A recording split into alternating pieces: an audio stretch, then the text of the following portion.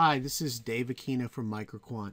This is the value charts video of the day for Tuesday, uh, June 25th, 2013. The uh, what I'd like to show you in the video of today is a chart of Mastercard on a on a daily time frame here. You can see what's happened over the past three, two to three trading days. Mastercard has fallen off.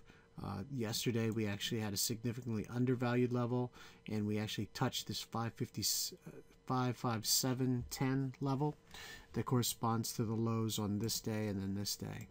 Uh, we did bounce off that level and today we're actually uh, bouncing nicely. This is still an inside day compared to yesterday but we do have some uh, strengthening to the upside uh, we have decreasing bearish momentum. Now, the strategy that we're actually starting to look at on Tuesdays and then even on Wednesdays, starting to look at opportunities to write credit spreads. This is where we collect the premium on a spread and we look for the price to stay away from the short strike.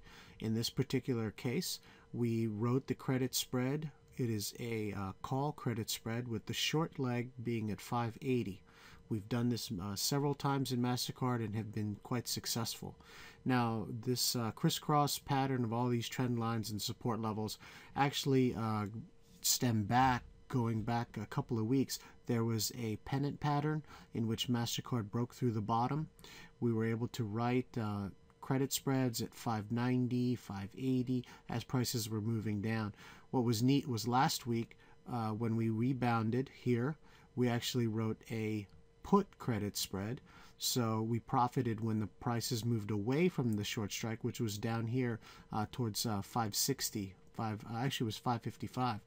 So when we got far enough away, we actually bought them back uh, cheaper, and then we wrote a credit spread when prices started falling at the end of the week. So Mastercard, we double dipped. We uh, we earned a lot of money in credit spreads last week. So this week we're looking to do the same. We've come down here, we've bounced.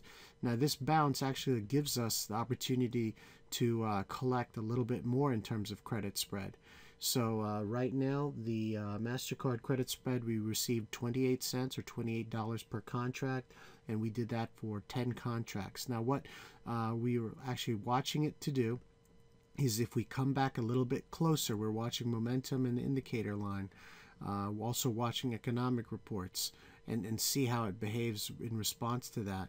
Uh, we're actually seeing that the indicator line is still negative, histogram is still red. So we have a downward outlook, a, a bearish outlook on MasterCard. That's why we wrote the credit spread. If things change, uh, we could uh, adjust this uh, or or if if it looks like it's going to persist and just go sideways, we can add some more to this credit spread if it looks like things are going to be moving our way because it is only Tuesday, but then Wednesday and Thursday we can make adjustments on it.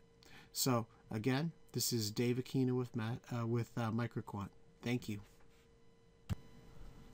Never miss a value charts trade. Go ahead and subscribe to this YouTube channel to see more Trade of the Day videos. Click it now. Again, this is Dave Aquino reminding you to keep your options open and your trades profitable.